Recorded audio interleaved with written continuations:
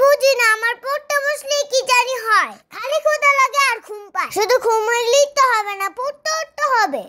ঘুমটা আমাকে কোনোভাবেই পড়তে দিচ্ছে না। কি যে একটা অবস্থা। আমি এই ঘুমটাকে কীভাবে তাড়াবো? ঘুম আমার মনে হয় কোনো কাজ নাই। খালি আমার সাথে দুষ্টামি। আমাকে বড় হবে না, পড়াশোনা করতে হবে না। ঘুম মামা, তুমি কি এটা বুঝো না? তাড়াও আমার আম্মু তোমাকে তাড়ানোর চেষ্টা করতেছে?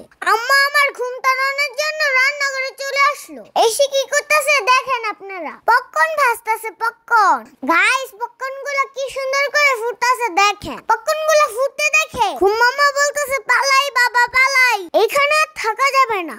আমি মনের আনন্দে অপেক্ষা করছি, কখন পপকর্নগুলো ভাজা শেষ হবে আর কখন খাব।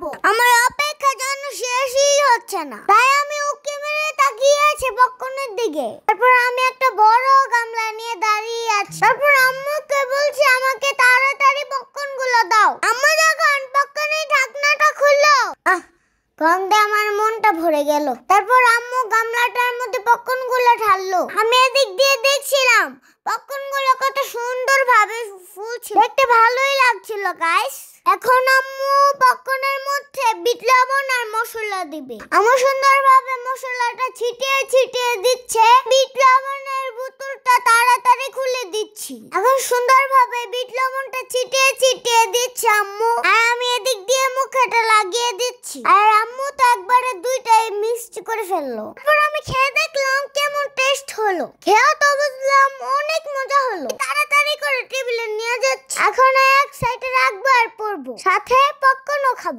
ঘুমামা আর আসতে পারবে না, আর আমার পড়াতে ডিস্টার্বও করতে পারবে না। এটা হচ্ছে ঘুম তাড়ানোর বড় ওষুধ। যদি মুখ সবসময় লুটতে থাকে, তাহলে আর ঘুম আসবে না। বুদ্ধিটা কেমন গাইস আমার মার তো সেই লেভেলের বুদ্ধি। এত বুদ্ধি যে কই পায়? গাইস আমার মাকে আমি সব সময় হেল্প করি। আপনারাও কিন্তু আপনাদের মাকে হেল্প করবে আমার ডিস্টার্ব হচ্ছিল দেখে আম্মা বলল কি, তুই পড় আমি খাওয়াই দিচ্ছি। তাই আমি